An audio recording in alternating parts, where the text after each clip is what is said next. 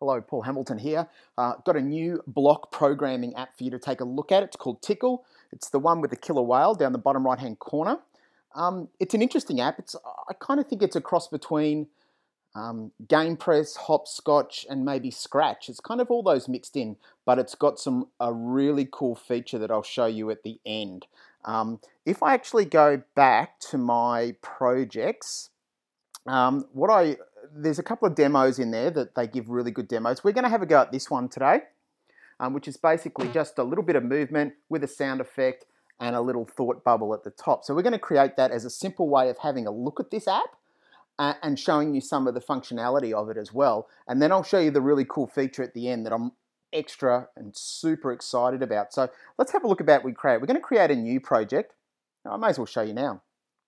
Now, when you choose a template for a new project, look at the things that are there. We can actually do some coding to control a whole lot of different things. And I'm really, really impressed and excited about testing out my block coding with my Sphero robot. But we'll get to that later. Let's just go with the Orca, which is where we can generate uh, games, um, some digital storytelling, some different things. So I'm just going to flick all this code over, a little bit like hopscotch. Um, I'll leave the when the start to play there. Actually, I'll get rid of that as well.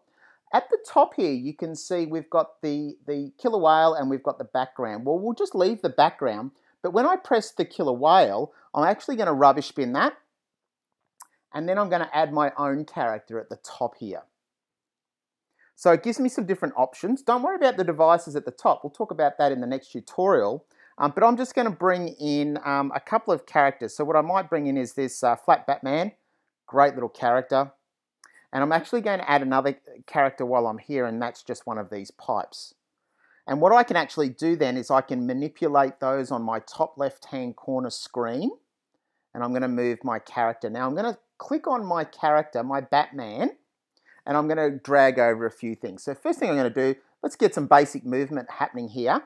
And I'm going to get him to move, say, 250 steps. And then I'm going to press this little play button at the top here to see how far that is a little bit too far. So I'm going to tap on my screen. I'm actually going to move uh, my thing over, press test again. Yeah, that's pretty close, that'll do. So I want to give the impression that he's actually hitting um, the pipe there. Um, that pipe there you can probably see from the Flappy Bird game and some other things. Okay, so when he actually hits, what do we actually want to happen? Well, I'm going to explore the sound. See down the bottom here, we've got the sound blocks and I'm going to say, okay, I want it to play a sound. I'll hit the drop down menu and we can download something. I'm just going to hit, say hit wall. Um, and then what I want actually to happen is there's a little bit of a wait period. So I'm actually going to go down here and go to uh, my controls and I'm going to drag over the wait and I'm going to change that to two seconds because I don't want that thought bubble coming up straight away. And then I want him to actually think something. So if we go to events, right up the top here in the looks category, we've got a little think bubble. And we can change that to, huh, um, we might go, uh, ouch. And there. And now it's time to test it to see how we go. We can test it in full screen if we want. So go to full screen.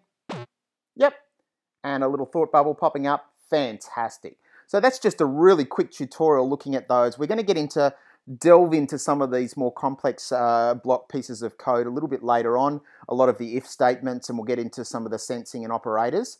Um, we'll get into that later, but I just wanted to show you that this is a brand new app, really impressed with it, and um, it's going to do some things that other coding apps can't do, like controlling some devices, which I'm really excited about.